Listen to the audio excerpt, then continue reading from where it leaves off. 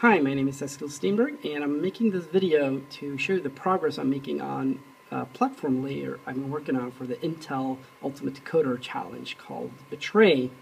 So um, this platform layer is very similar to GLUT or SDL or other platform layers like that, but it has some really, really nice features to it. Um, it does the normal things like opening this display, um, gives you an OpenGL context, it gives you timing, it gives you threads, immutacies, execution, it gives you access to the cut and paste buffers and other sort of things like that. For instance, here is a requester, so you can get requesters from Windows and things like that. Um, and then obviously it does mouse pointers and things like that. Um, but what makes this really, really cool is that it's extendable. So you can already see there's sound going on here, and that's actually from a plugin that hooks into the sound API, and um, it provides the microphone. And it also um, gives output. So here I'm going to put a sound source, and I can move it around, and it has full Doppler, it's full 3D sound. And what's cool about this is that you can make a closed source application, and then people can add support for new features and hardware just using the plugin interface. Um, so you don't have to have an open source application for people to add cool stuff to it. So an example of that would be this, which is a 360 controller.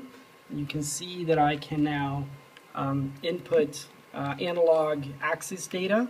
I can also do um, um, button presses with codes and everything. Um, and you can add as many of these axes or buttons as you want from, from the plugin API. The same goes with the pointers. So here we have one pointer, um, but if we move over to this machine, uh, which is a multi-touch, we have multiple um, pointers that are coming from the multi-touch. And this ability to add new features uh, goes beyond just input. You can also fiddle with output.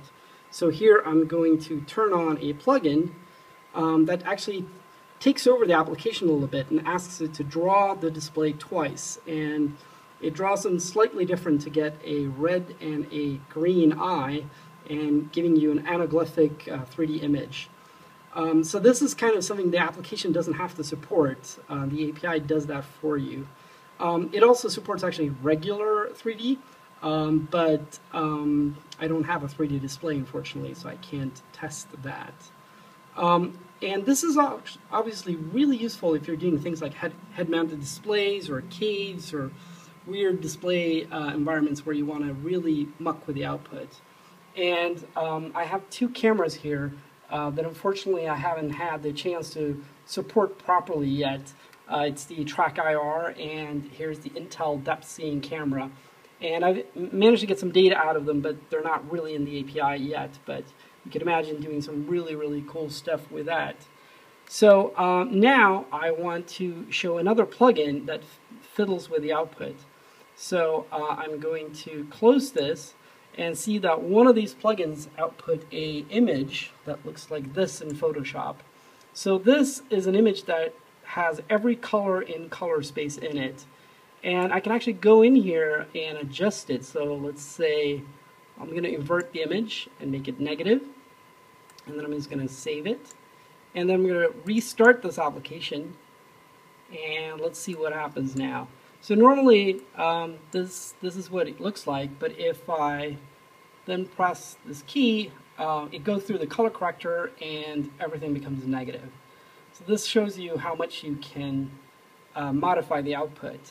Um, this application that you're seeing is obviously is a test application for testing the API but I am working on some real application like this data visualization tool where you can just look at uh, 3D uh, visualizations of data um, and uh, play around with it. So here is a bit of um, 3D data we can play around with.